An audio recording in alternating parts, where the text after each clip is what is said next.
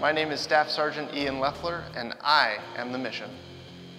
So I'm here as an air traffic controller liaison.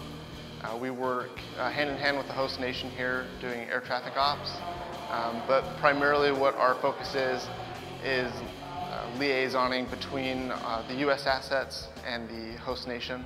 So when we're here, we are actually participating in what we have been training for for years. And uh, being in air traffic control, we get to have our hand in every single mission that uh, comes to this space and leaves it.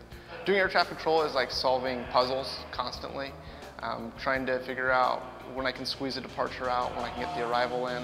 Uh, I love my job. This is why I joined the Air Force, was being an air traffic controller. So it's a you know, huge sense of pride in our job every day when we get to see those types of operations come and go at, at any moment of the day.